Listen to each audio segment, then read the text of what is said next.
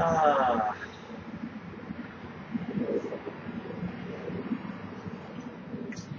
you know, it's kind of funny. I was uh, talking to my wife the other day. Such a rare occasion. But uh, we were discussing relationships. Big surprise.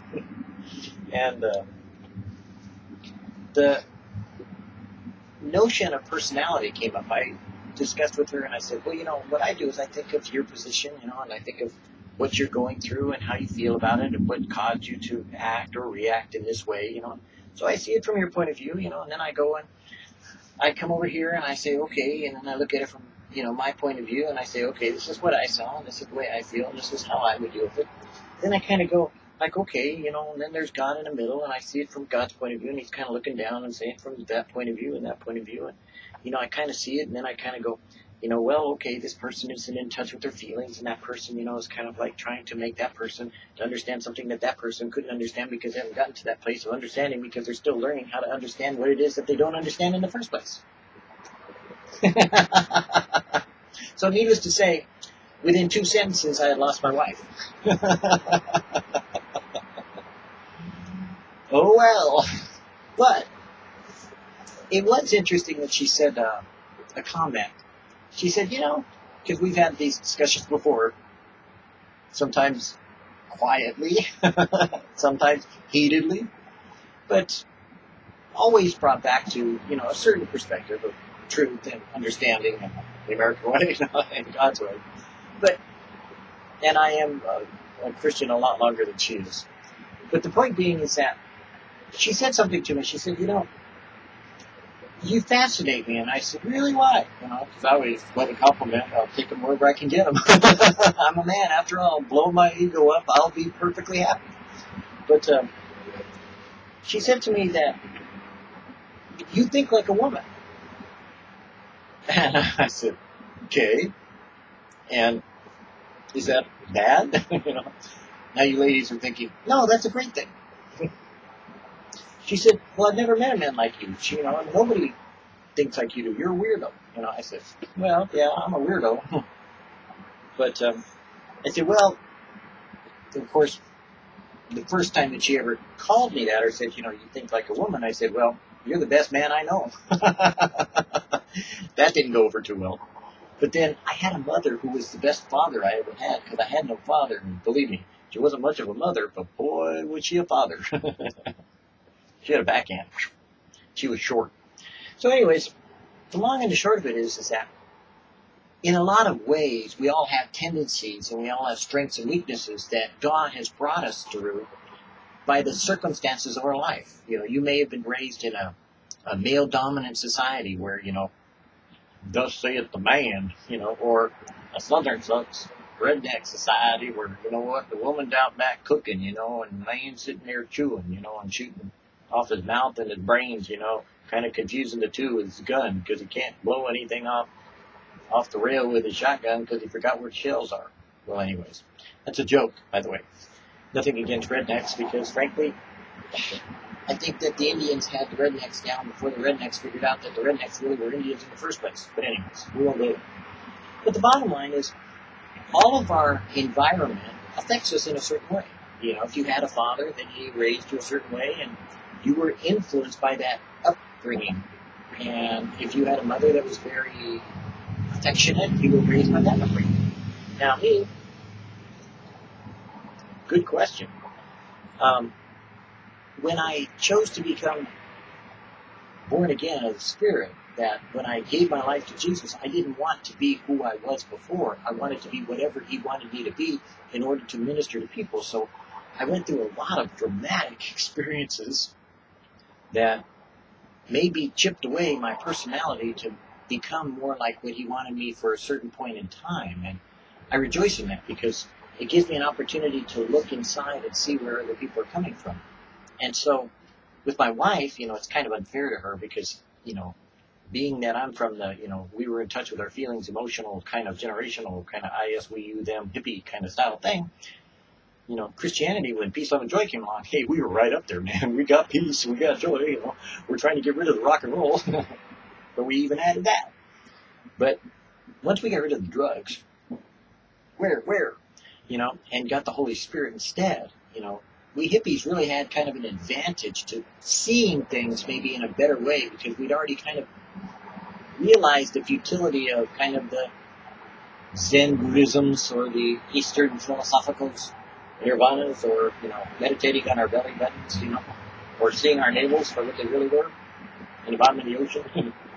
but we also were more open to what God was doing and who He was in some of the esoteric ways, ways that would involve heaven and not earth. You know, so we were pretty much really cool with that. And a lot of times, I think that's where people mistake, you know, what they are for what God is trying to make them into being. Because when we look at Jesus, we see a man who wasn't afraid to cry. He wasn't afraid to be himself. He was the embodiment of all emotion and all devotion to God. If God wanted him to be forceful, there was a time and place when he was. When he wanted him to be sensitive and tender, there was a time and a place for that. You see, it wasn't about compartmentalization or the id and the ego and the superego versus, you know, the realization of who you are versus what you think you are and where you are and how you are. No, it was what the Holy Spirit made him to be and how people perceived him because of that spirit of God that could cause two people to connect in a way that no one else would. So he could be right in the midst of a crowd, and this woman that he touches who had a menstrual cycle that was going on, he could heal her, and only him and her knew what was going on. And the crowd had no concept of it. That's the individuality of our God working in your life in a particularly peculiar way. And that's why you're a peculiar people. You're not meant to be a cookie cutter like someone else. You may sing in a different tenor or tone. you may not be able to carry a tune. But if you can't, sing anyways. So what? The harmonies will drown you out. Trust me, they'll hit every octave in a body of believers that there is. And if not, sit in front of me. I sing loud, so I'll drown you out. But the point being is that letting God do to you what He chooses to will create in you a joy of salvation. You'll be able to enjoy your life more, not because of prosperity, which some people seem to think that's the ultimate goal, but because of perspective. So I'll give you an example. One of my greatest joys right now in my life isn't my new camera. I love the little camera. No, it's a it's my Orbisphere, but you know, anyways, yeah, I bought one five years ago, and now they made a new one. It's exactly the same except for the software. But, anyways, the sound's not working because it's kind of like they messed with it, and I can't quite get it. Whatever it is it's doing, it's doing it. So, oh well. But my greatest joy has been finding on this porch, in the midst of this. Sometimes it feels like confinement because of the way I am. I like to be out there on the road, you know, again, you know, I'm working and doing all kinds of things, you know. But in this time of being, confined to the home and working on the internet and doing the ministry of the Lord, I get a chance to see this butterfly, butterfly. I get a chance to see this hummingbird. And you know, I really get a kick out of this guy. I mean, I am just blessed out of my mind every time I see this hummingbird, wherever he's going. It just blows my mind. Now, back in 74 when I got saved, it was a seagull. Figure. Then it was a pelican. In Alaska, was an eagle.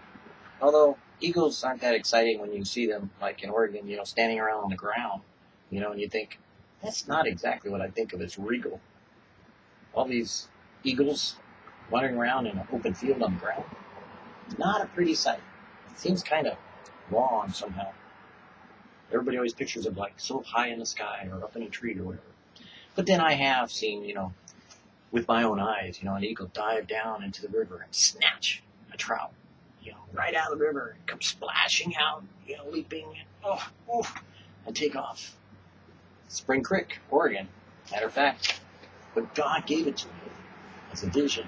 It was a real life experience, but it was envisioning for me the joy of seeing what God would allow me to know and remember for the rest of my life. And so now I have this hummingbird, and yeah, I just get a kick out of it. And my wife thinks that's just probably the most insane thing in the world. no, I don't have a hummingbird feeder. We tried and we kept spilling it, and somehow the hummingbird never got to it, so gave up on that. But when he had flowers on this deck, he used to come once in a while, and whenever I was doing something really, I really neat, you know, on the computer, it was like he would come over and look in the window, you know, and man, it just blew my mind. I'd look over and there he was. So my idea was, wow, you know, I just think would be so neat in the millennium or whatever. We go to heaven, you know, which is cool, you know, that's going to be the tricky scene. Then we come back on Earth. You know, I just want, like, a bunch of hummingbirds around, you know, I just want to kind of, like, talk to them, you know, kind of look at them just flying around here, you know. I don't know, they just, they're pretty cool, you know. They're like my butterflies of the bird family. Think about it. butterflies of the bird family. Hmm. What are you? Is God's will my will? This is the will of God, even your sanctification. It is not a question of whether God is willing to sanctify me. Is it my will that I be sanctified? Am I willing to let God do in me all that He has made possible by the atonement of His Son? Am I willing to let Jesus be made sanctification to me? And to let the life of Jesus be manifested in my mortal flesh? Beware of saying, Oh, no, I'm longing to be sanctified. I want it. No, don't say that. You are not.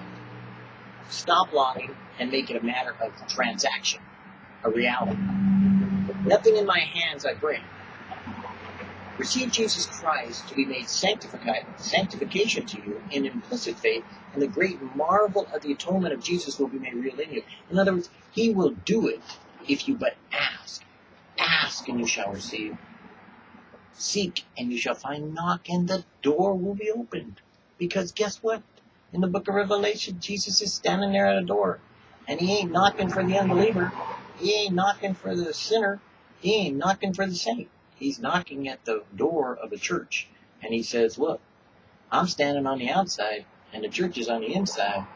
And I don't know, but you know, I think we got this picture wrong. So if you open the door, I'll come in. But unless you invite me, I can't even get in my own church. Think about it. All you got to do is open up and let Him Receive Jesus Christ to be made sanctification to you in implicit faith, and the great marvel of the atonement of Jesus will be made real in you.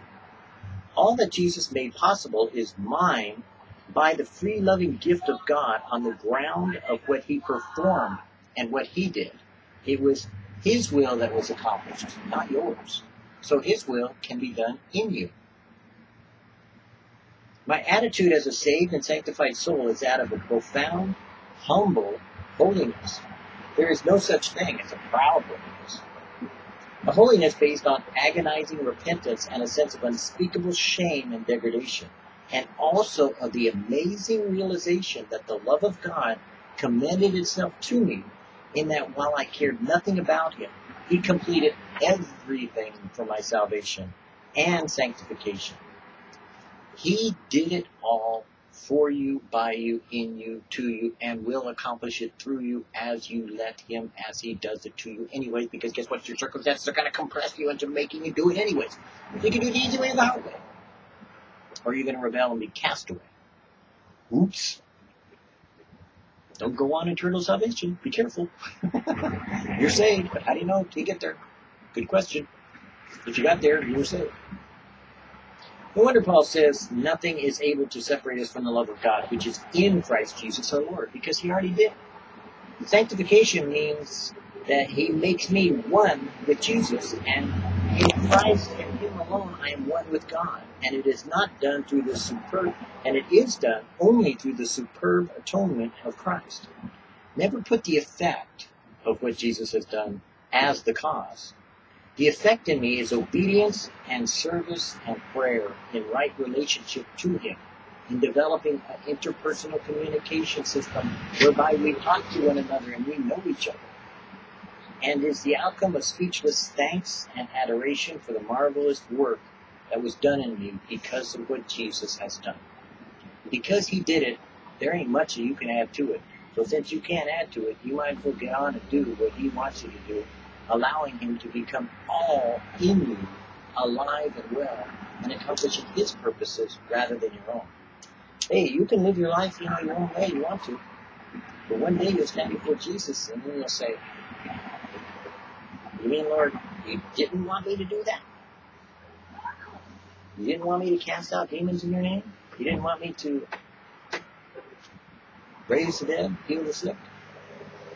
You didn't want me to do all these marvelous works in your name? Depart from me, I never knew you. Whoa! Ooh, ooey. Yikes. What do you mean you don't know me, Lord? I did it in your name. But did you know me? And better yet, did I ask you to? There's only one guarantee of salvation. Only one. And there's only one assurance. And that's what's become popular in these latter days in the fundamentalist Christianity and fundamentalist terminology that we say, if you have a relationship with Jesus, then you're assured of salvation. If you don't have a relationship with Jesus, you're not assured. In 1 John, it's said a different way. If ye abide in me my words abide in you, so shall be. But it talks about abiding and that Jesus abides in you, lives in you. But the way that he lives in you is through a relationship to you as you yield your life and talk to and ask him to be in your life daily, every day, today, tomorrow. Let tomorrow take care of yourself. Hey, you have enough problems today, don't you? But your relationship is assured and your salvation is a confident assurance that God will accomplish perfection in you if you just talk to Him. How hard can that be? All you got to do is ask. I think He's waiting. Did you talk to Him yet? I'm waiting. Okay. Are you to talk to him? If not, the question is, you really want to go to hell? Or are you really that embarrassed? Are you really that humbled? Are you really that fearful to find out that your God, even the Son of God, and the very Holy Spirit, is that real? I got news for you. He is.